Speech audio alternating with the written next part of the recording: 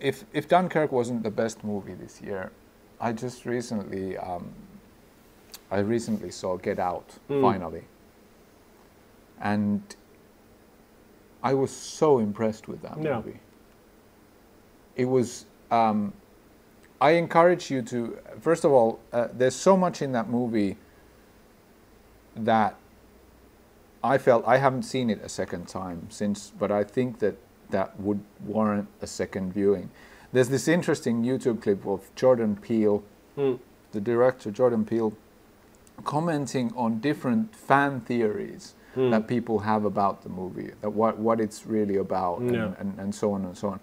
And it's a really funny clip because Mm. Peele is a comedian, um, and that's why nobody expected this movie from him any, Mm. anyway.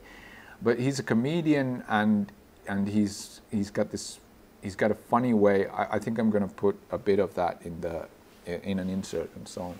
But he talks about quite funnily about uh, about the really crazy theories and the Mm. really interesting theories that Yeah. that have been that why the certain characters uh, behave in that certain way Mm. in that movie and within that world and so on.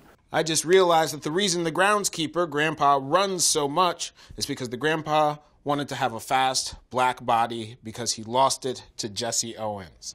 That's right. Yeah, I always had this idea that uh, Grandpa, who's in Walter's body, is running because he's trying to beat Jesse's time. Anyone think it was intentional that he was freed by picking cotton?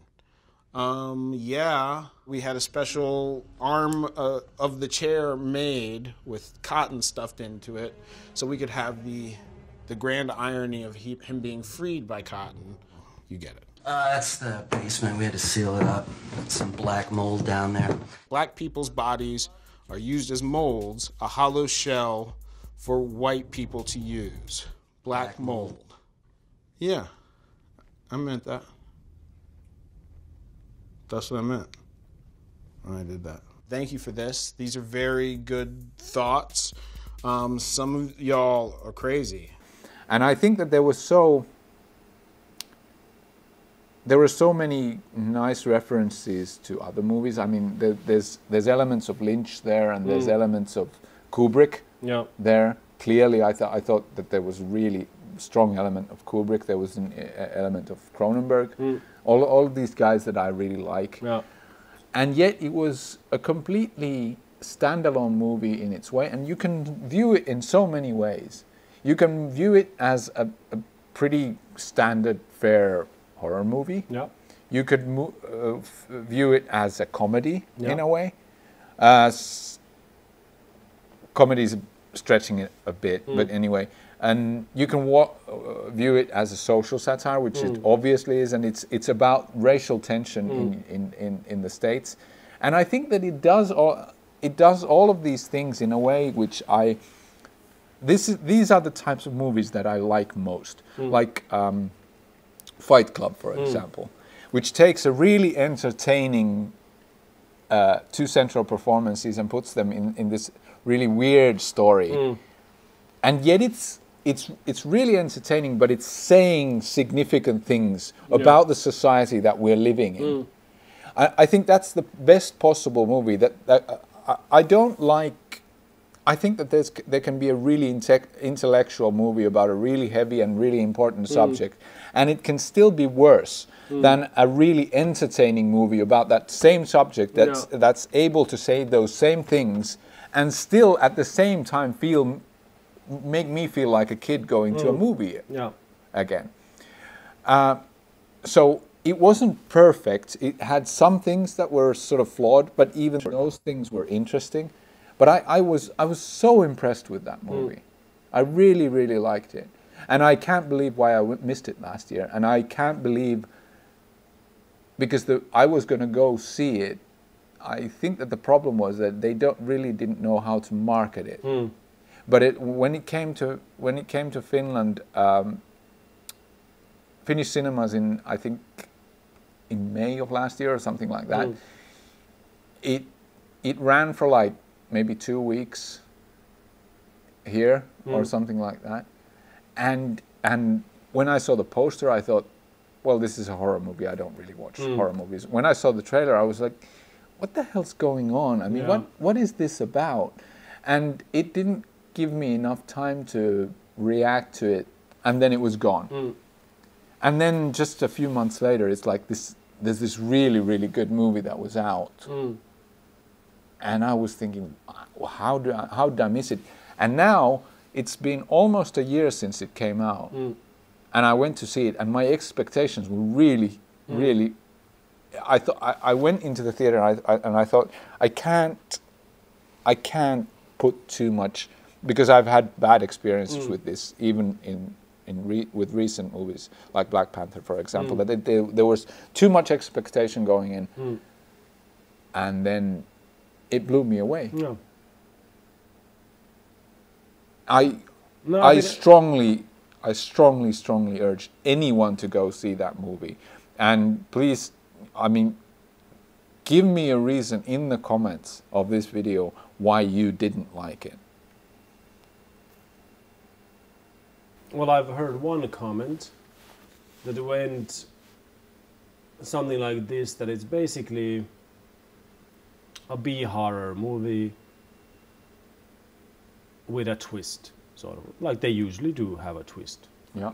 and that was basically why um, that person didn't like it. And but for me, it was sort of it was so innovative, Yeah. and it was so entertaining, and it was so weird, and, and there were so many levels, Yeah. and, and all those levels made sense in the end. Mm, yeah, it was really like this. Because I've had I've had trouble. Tr- You Like- had like- Trevor! like I'm having now. I've, I've I've had trouble articulating this. That why why do I think that it's such a good movie? And I don't. I still don't know. All I can say that it, in my opinion, it's really innovative. It's really entertaining, and it's sort of like really weird and kooky, and it's scary also, and it has like really good performances, and there's this weird tonality to it that is sort of all the, all the, all the time a, a little bit off, but still sort of like in a really good way. I don't know how many more reasons you need. yeah, but I I need something like a really pinpoint, like Yeah, This- yeah, yeah. I, I think that, that that's one of the strengths of the film that it it, it does defy categorization, Yeah. and it's uh, one of the reasons why it is is so is so interesting is is that it it, it functions on so many different Yeah. levels, and and you can you can decide to watch the movie, Mm. and this is rare, I think, i especially with Hollywood movies, Mm. that you can decide to watch the movie based on a certain mood. You can go inside and s- decide that I want I, I want to watch this movie as a comedy. Yeah. Or you can decide that I want to watch this as a horror movie, or you can decide that I want to watch this as a social satire. Yeah. And each time it works. Yeah, that's true. It it, it, it does have this sort of like a multiple geometrical layers in it, sort yeah, of. It's yeah, funny. and, that, and that's it's- why I that's why I thought of it as, as Fight Club Yeah. because Fight Club had the same thing. I thought that it, it, it was an you can watch it as a sort of an action Mm. movie, or you can watch it as a, a, as a really a, a, a basically a tragedy about mental illness, Yeah. or you can watch it as a comedy.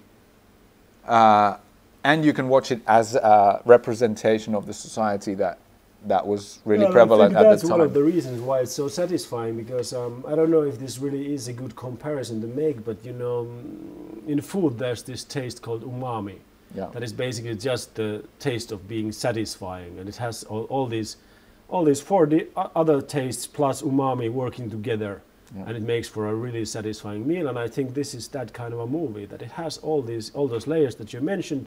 They're working together, and for some reason your mind picks up on it, and is just satisfied by the fact that it's seeing something like that. Yeah. Yeah, and and that's why I, for me, like um, Dunkirk and Get Out were for me the best movies of the year, just simply because they both did something in within the art Yeah.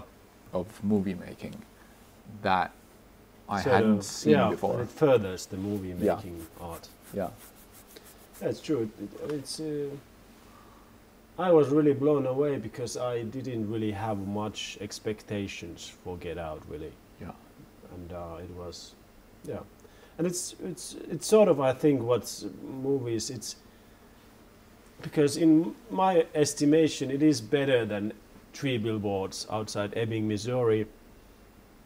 And the key reason is that it's it works better as this multi-dimensional harmo- harmonic whole. Ebbing isn't quite as good, as well put together. Yeah, it's a bit Yeah. disjointed. Yeah.